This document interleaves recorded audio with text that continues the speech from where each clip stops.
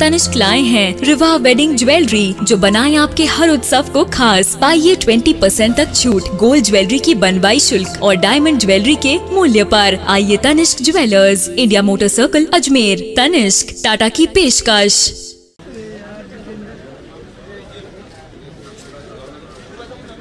किसान विजय दिवस के ऊपर हमारे बीच में पधारे। हमारे अखिल भारतीय कांग्रेस कमेटी के महासचिव, हमारे राजस्थान के प्रभारी, परमादरणीय अजय माकन साहब, हमारे राजस्थान सरकार के लोकप्रिय मुख्यमंत्री आदरणीय अशोक गहलोत जी,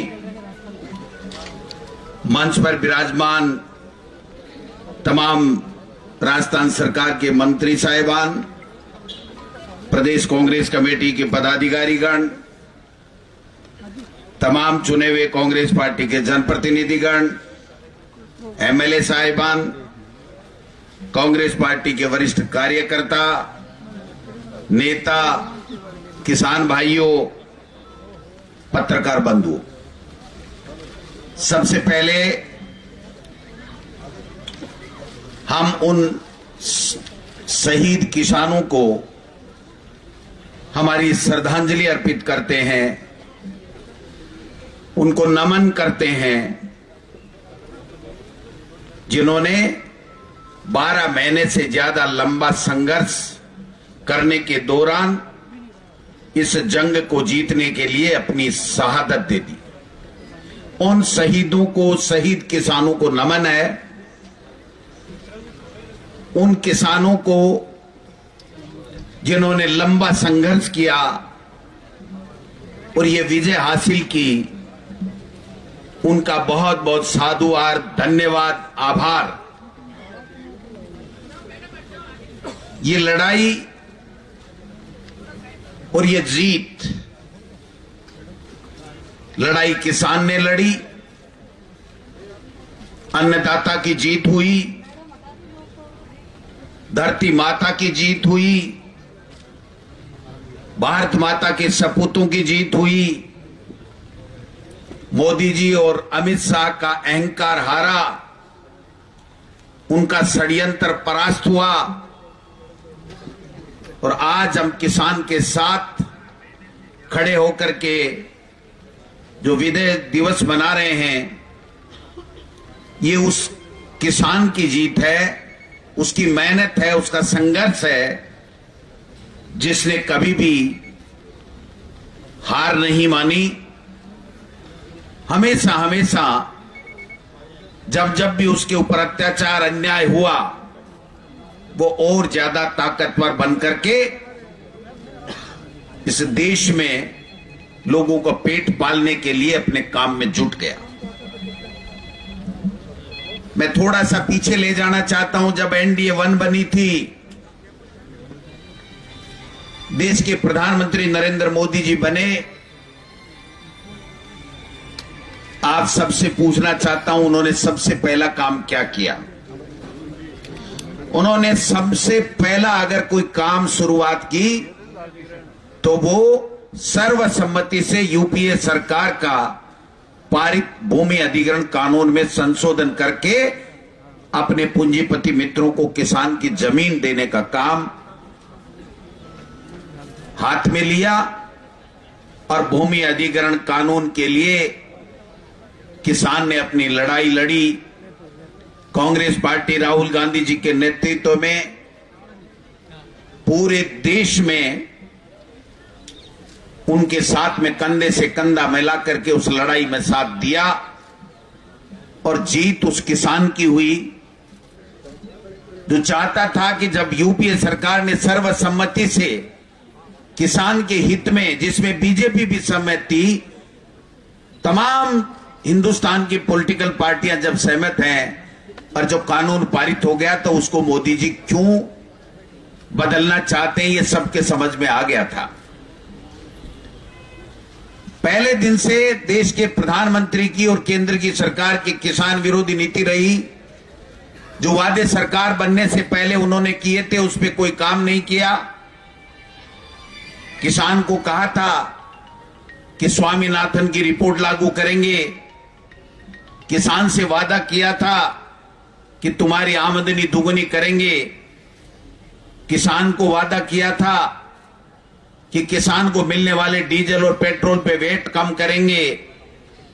किसान से वादा किया था कि तुम्हारी जो खाद, बीज है, उर्वरक है, उसके ऊपर हम लोग टैक्स कम करेंगे। किसान से वादा किया था कि तुम्हारे जितने भी उपकरण खेती के काम में आते हैं उसके ऊपर हम टैक्स हटाएँगे। लेकिन एक भी वादा पूरा हुआ तो बता दीजिए। और जब सोना के सूर्य के पीछे छुप करके और जब दोबारा वो सत्ता में आ गए तो एनडीए वन के अंदर रची गई साजिश, जिसके तहत किसान की ज़मीन के साथ साथ में किसान के ज़मीन में होने वाली पैदावार, उसकी उपज, अनाज के ऊपर कब्जा करने की साजिश के तहत बड़े बड़े उद्योगपतियों से चुनावी चंदे लेकर के बंद कमरे में किए गए वादे के मुताबिक उन्होंने वो तीन काले कानून हमारे किसान के ऊपर थोप दिए। जिस तीनों काले कानूनों की किसान ने कभी कोई मांग नहीं की।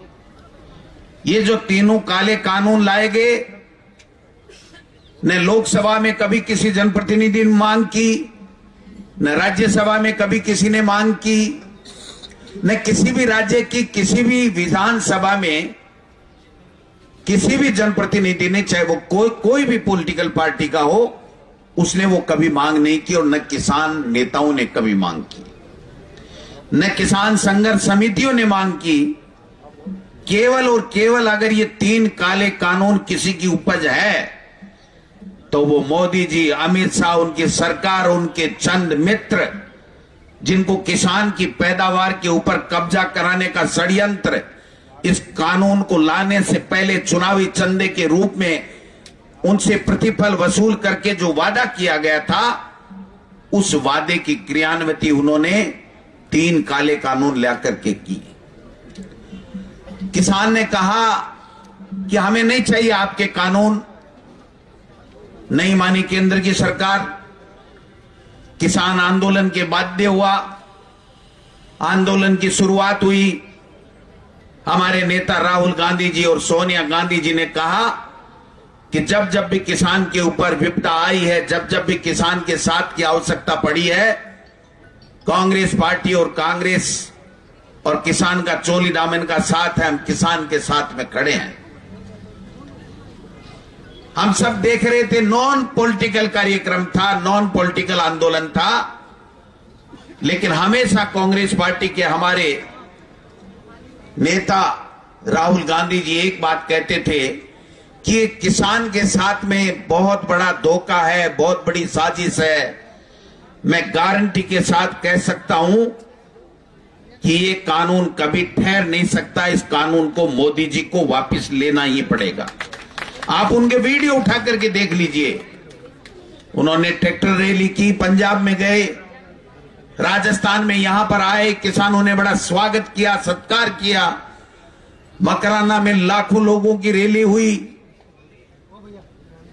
हनुमानगढ़ गंगानगर के अंदर लाखों किसानों के साथ में राहुल गांधी जी ने अपनी प्रतिबद्धता, अपनी कांग्रेस पार्टी की प्रतिबद्धता दोहराई कि हम किसान के साथ में हैं। मरते दम तक, जब तक एक बूंद खून की हमारे शरीर में रहेगी, कांग्रेस पार्टी के तमाम कार्यकर्ता और नेता आपके साथ में हैं। कितना बड़ा उत्साह किसानों में आया, ऊर्जा मिली। विश्व का सबसे बड़ा आंदोलन, और वो भी उस अन्नदाता का, जिस अन्नदाता के बोर्ड से मोदी जी और अमित शाह देश की सरकार में आए। लेकिन सरकारों में आने के बाद में उसको भूल गए, उनसे वादे किए गए, वो भूल गए। आज भी मैं ये कहना चाहता हूँ कि ये लड़ाई खत्म नहीं हुई है। ये लड़ाई किसान की, मोदी जी से शुरुआत है एक तरीके से। एक पहली सीढ़ी हमने पार की है कि जो षड्यंत्र रचा गया, उसको विफल किया गया है। उसको वापस कानूनों को, तीनों काले कानूनों को लेने के लिए मजबूर किया गया है। लेकिन किसान क्या चाहता है? किसान ने आपसे क्या वादे किए थे? वो बातें तो अभी तक आई नहीं।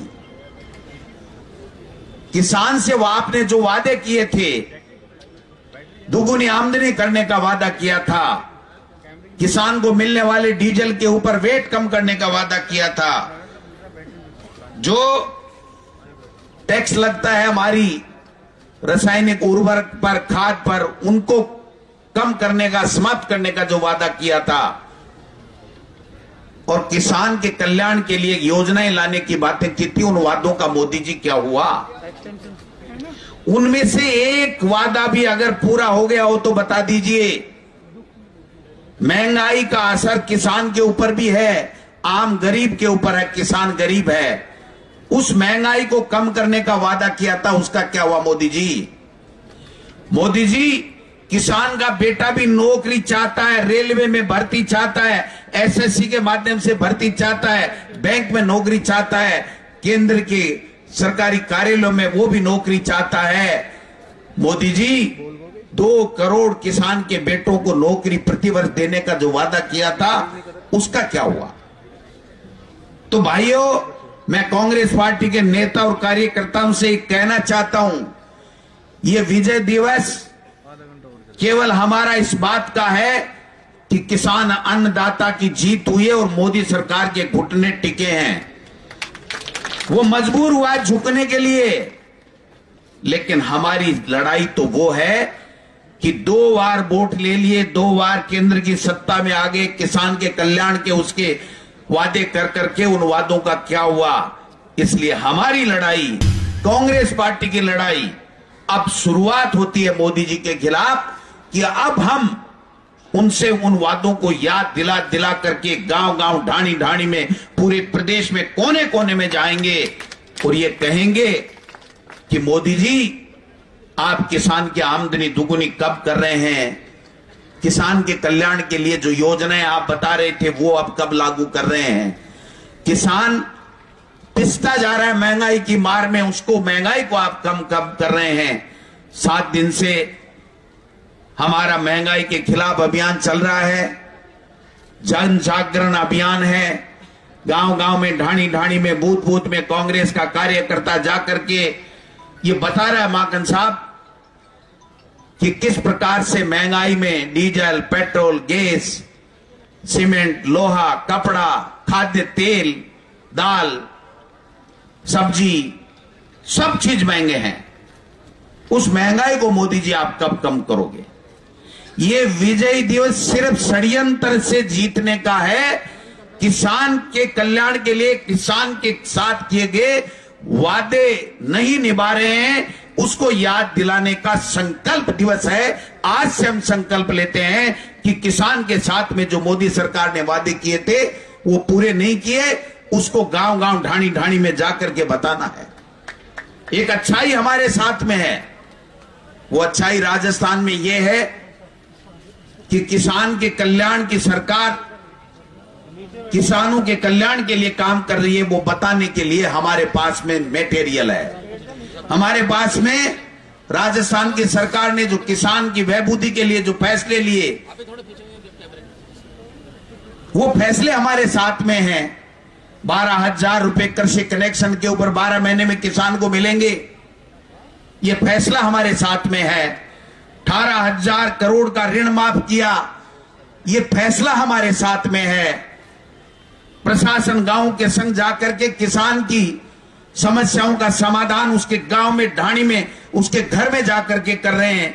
ये फैसला हमारे साथ में है। कृषि का आपकी बात से अलग से बजट होगा। ये हमारे साथ में है। हमारे साथ में हमारी सरकार अशोक गहलोत जी का नेतृत्व है।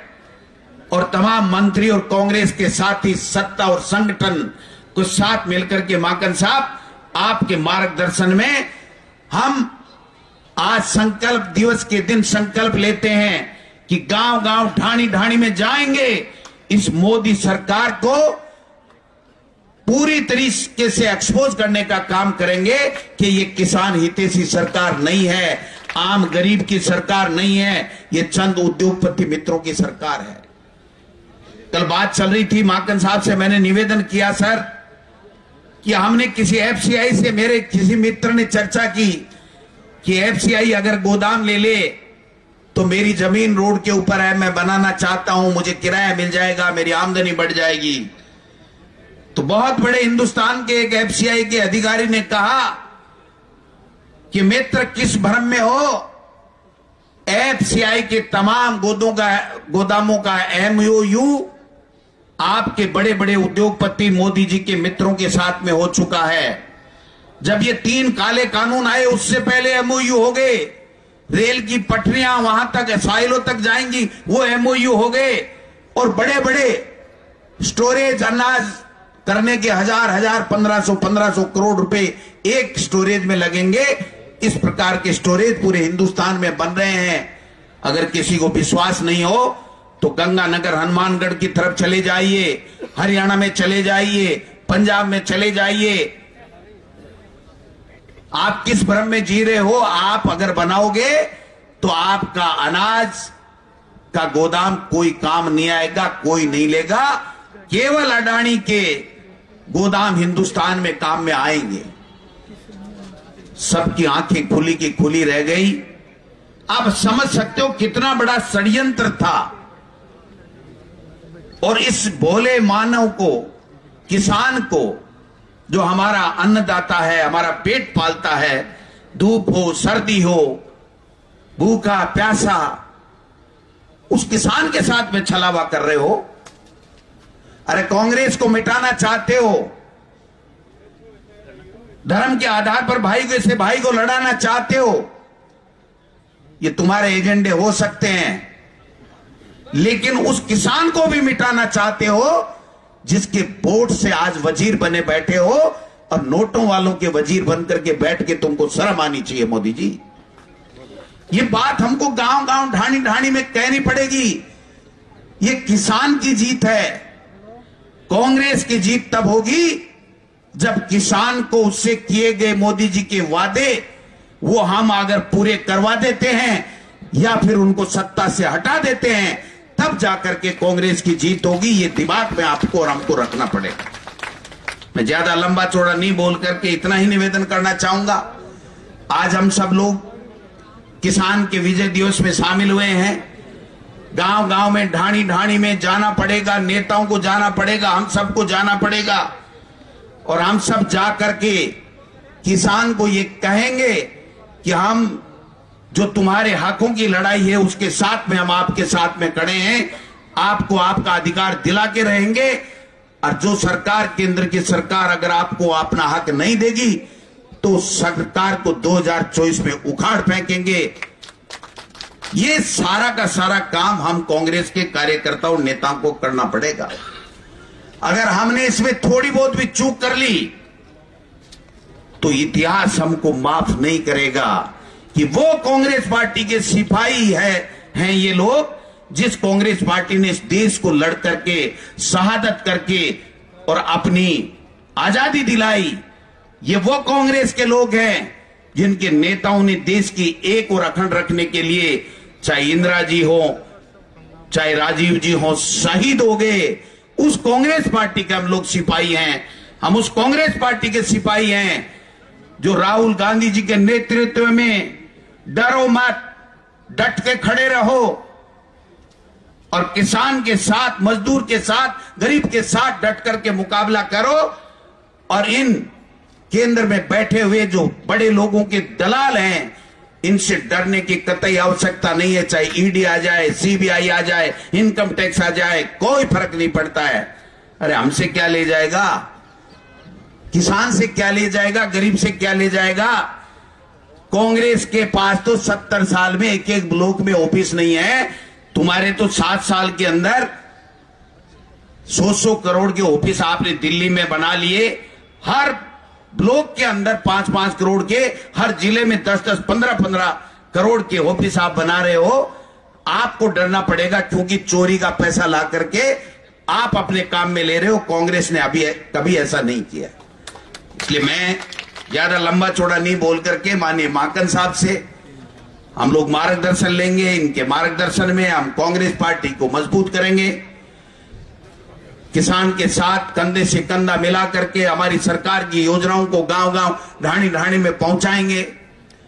लोगों को ज़्यादा से ज़्यादा हमारी सरकार जो आपके आशीर्वाद से बनी है, उसकी योजनाओं का लाभ मिले। और केंद्र सरकार की गलत नीतियों से जो नुकसान हो रहा है उसका डट करके मुकाबला करें, जिससे कभी न कभी इनके होश आए। और अगर होश नहीं आए तो इनको सत्ता से हम सब लोग मिलकर के बाहर करें। इस संकल्प के साथ में हमको प्रतिदिन काम करना पड़ेगा। हम सब एकजुटता के साथ में, एक राय होकर के, एकता के साथ में हम लोग कांग्रेस पार्टी के सिपाही काम करेंगे। धन्यवाद। जय हिंद। जय भारत।